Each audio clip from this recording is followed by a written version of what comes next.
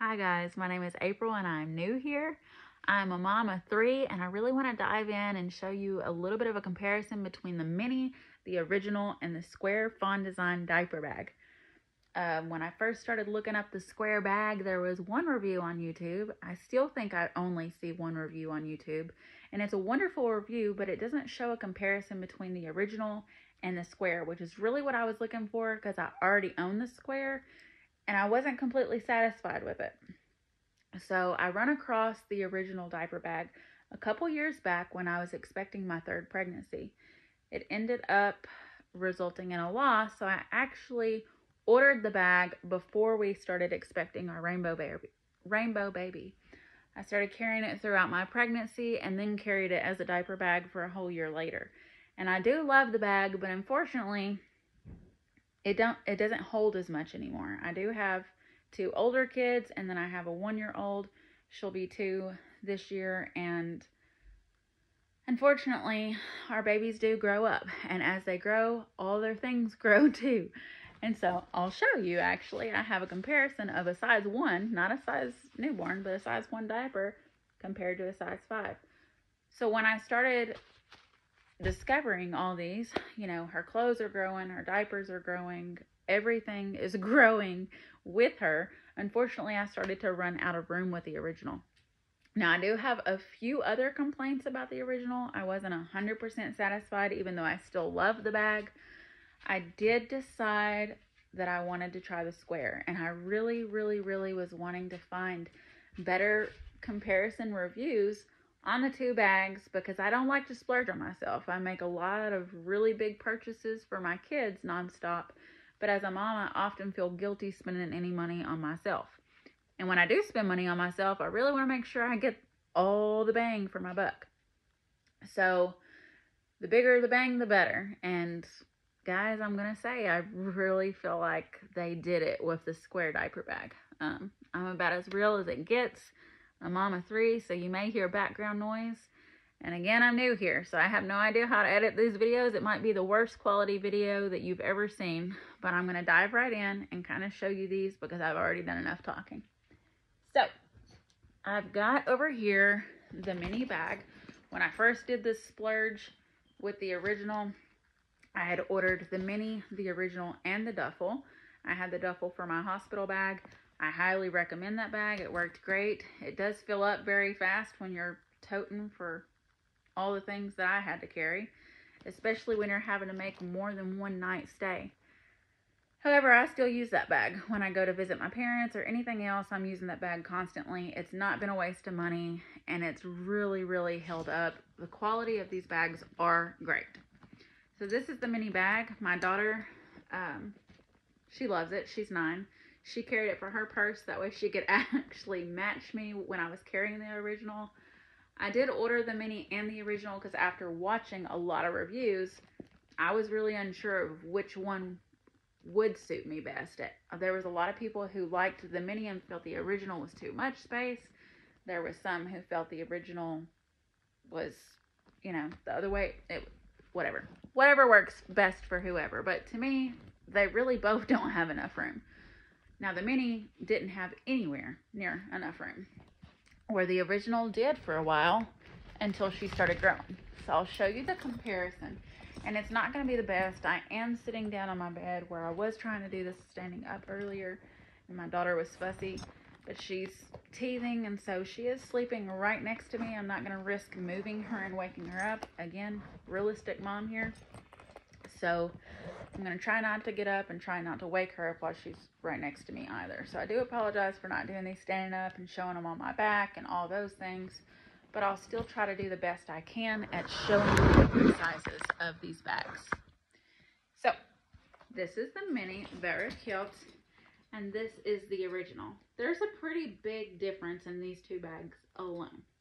Okay, so this one would be great for a purse. It'd be great for just one kid when you're maybe not taking as long of a trip.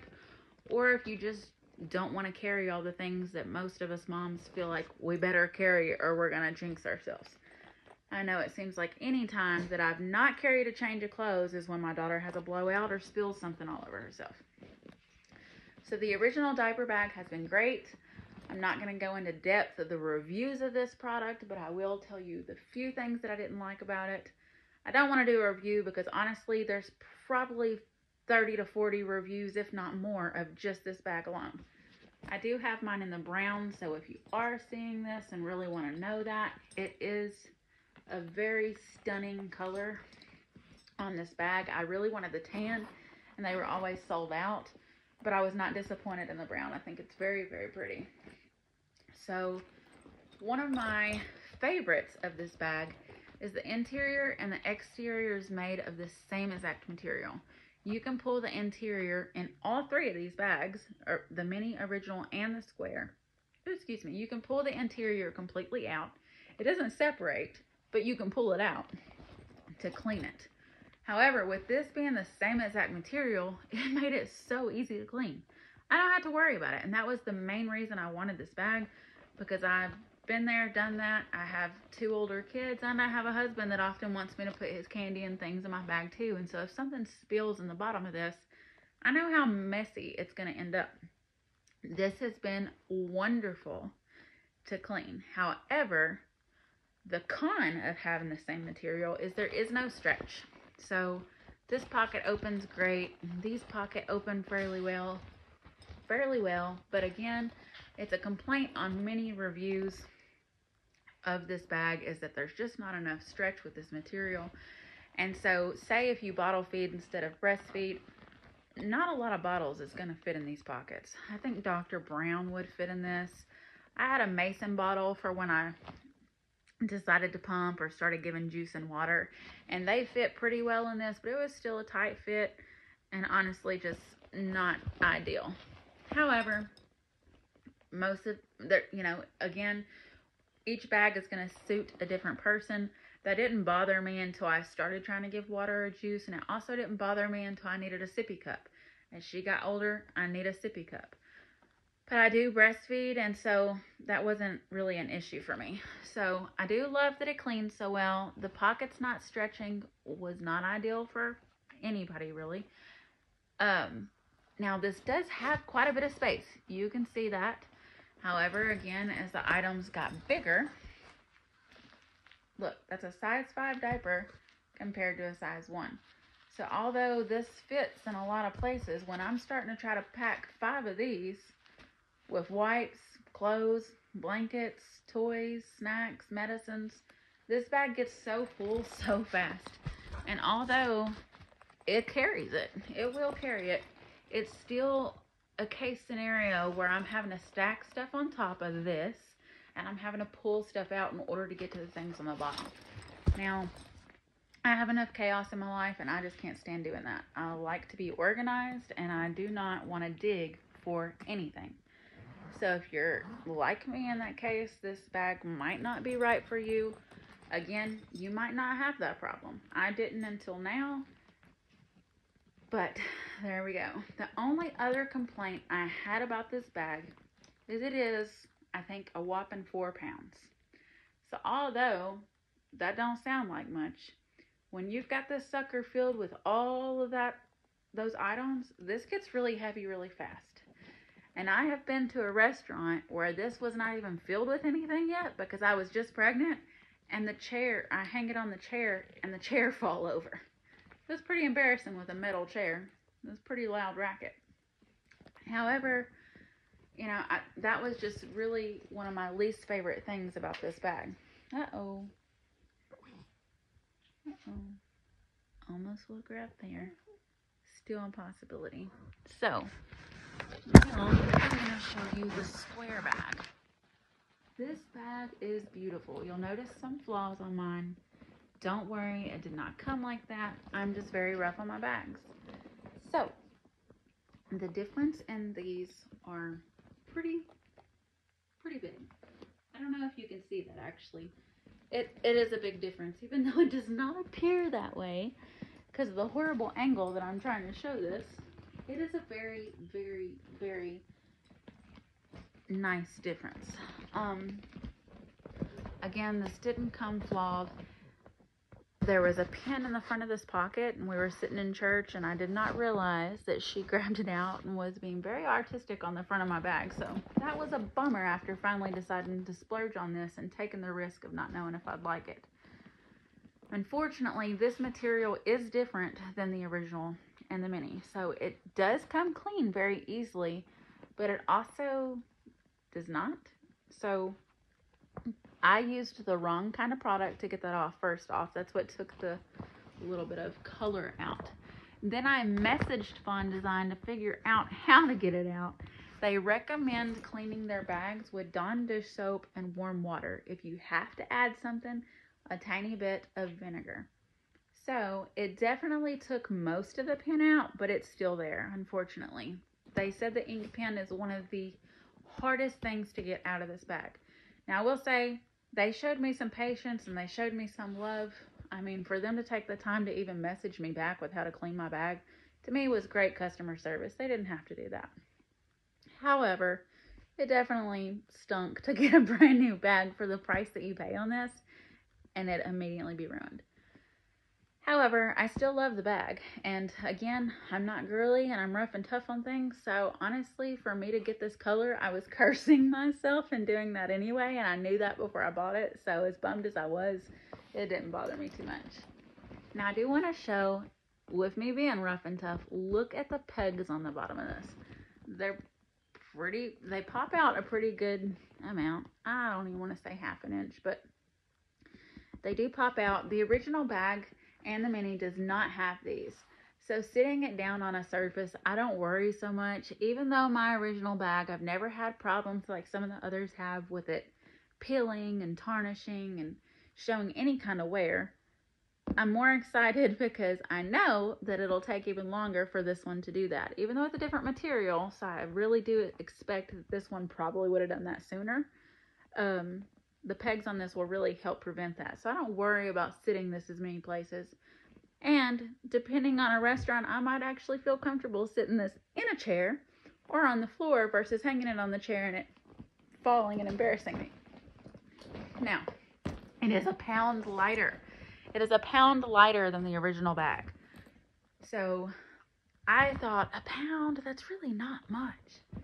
But guys, when I'm holding these, it's like a very noticeable difference. Like this one even gives me a little weight.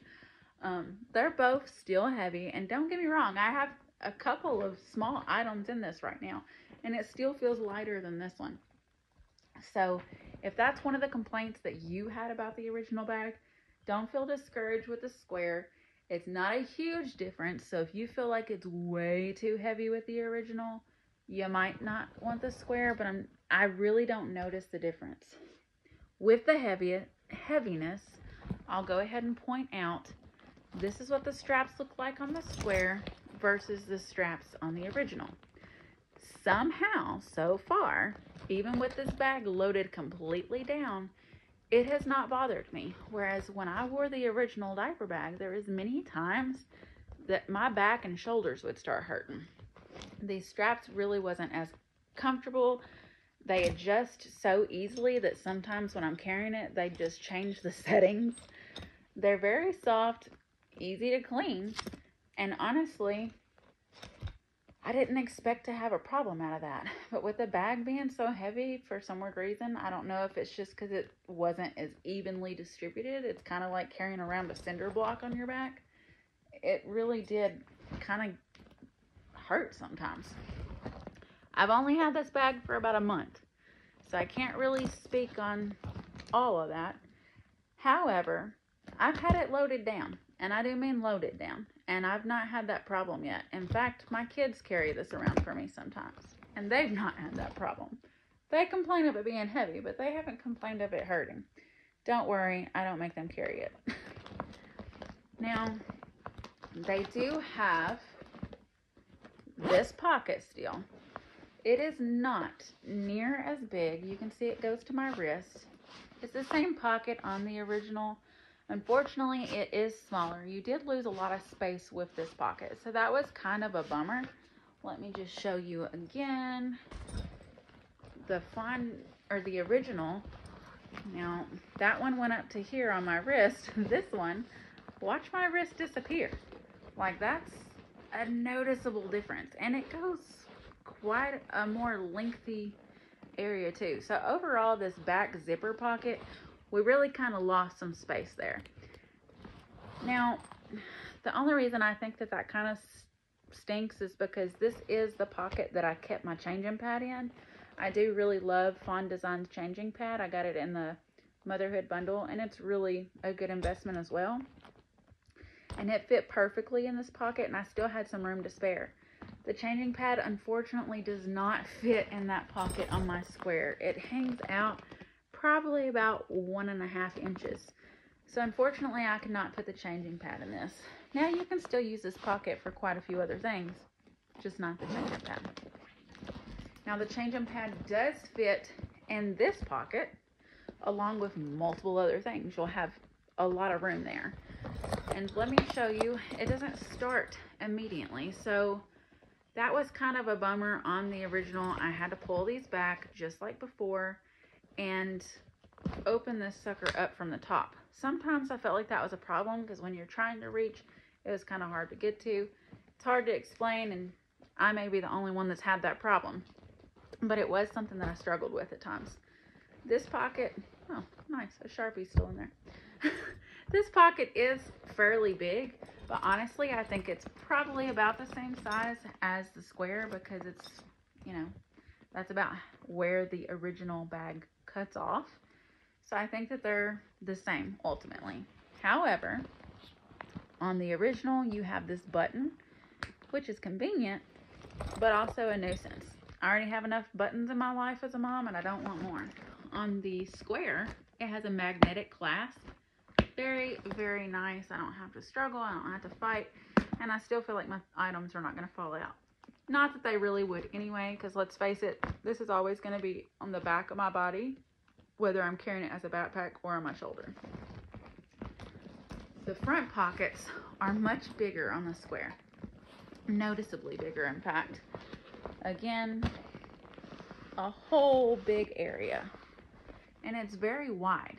Now, when you look at the one on the original, it's very deep too, but it's not near as wide. So adding this width to it really opened that up. I can fit my really big wallet in here. It's on the other side of the bed. I'm not going to risk waking her up like I've already almost done. I have an All About Benjamin's wallet. It's about yay big. It's from 31, and I can fit this in here sideways and it not be visible to people as I'm walking by. And I still have room to throw more junk in there. As well as the zipper pouch. It's a good space. I can fit my phone, many other things in there as well. When I used to carry this wallet in this one, it stuck out a little ways. So if I carried this on my back, I really didn't want to put my wallet here and us go to some crazy large place because somebody could easily just slip that out and I probably wouldn't even realize it because of all the motion going on and all the little beings that tug on me nonstop anyway. So the square bag did do away with the side pockets. Now, I know some of you are going to feel like this is a really big bummer because that's pockets that are missing. They did add two more in the inside, so it's really not we, like we lost pockets we just kind of lost them on the exterior. To me, it's not a problem because you really couldn't fit many in those pockets anyway. So they did add this pretty little pocket. I'm not going to lie to you. I've not discovered one thing to put in it yet. I know that a lot of things could fit in it, but I just don't know what to use it for. It's such an awkward pocket. Like, my wallet don't fit in it.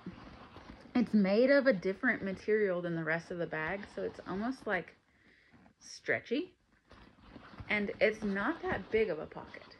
And I feel like if I was going to put a really big item in it, it might affect the space in the interior of the bag. So I don't really want to put too much big things in it, but I'm also don't want to put like chapstick or lotion in there because I do try to conceal most of those products in a bag that if they leak, they're not going to leak on the inside. I don't want to put something in there like that that's going to leak and go through to the rest of my bag. So if you own this square or you invest, go ahead and also comment what you put in this pocket. I know there's a lot of options, but I just haven't really discovered what I want to do with it yet. So next woo, is the inside. This bag is magical, guys. It really does have so much more space, even though you cannot really tell. I don't know if it's just the way it's laid out, but it's so much easier for me. They added this really big pocket in the back, and so if you had a small MacBook, if you're working, a tablet, I have a Passionate Penny Pincher planner. They're really thick and quite quite big. I use the home planner. I keep mine back here because I really don't go anywhere without it. I'm constantly making doctor's appointments. I'm constantly needing to remember what's on my agenda. And so I keep that right there. And even though it makes my bag super heavy, it's just so convenient to have the space to put that in. If I tried to add that into my original bag, I would have had to put it back here in which it wouldn't button close. But it wouldn't have fit in the inside with all my other belongings. So that was a really big perk to me. Now, it also still has the zipper pouch on the front of this, just like it would with the original bag. Obviously, this space is much bigger, so you really don't need much for this, but it's great for chapsticks, keys, whatever. Now, I don't know if any of you have really paid enough detail to that, but speaking of keys, you know, the original bag does have this cute little key clasp on the inside. Let me go ahead and try to show you this. I know this video is really long now. It does have this cute little clasp, and honestly, I never use this for my keys because anytime I need my keys, it's to unlock my door. my car door, sure. I don't need my keys for that at all because it's got the pretty little button that if I'm near my car, it unlocks me for unlocks it for me. But if I'm needing my keys, it's generally to get in my house, and unfortunately, I don't want to hook it to something. So I usually use that for something like my pacifiers or something. If you like that on the original bag, there is still a hook right here that that can be used for.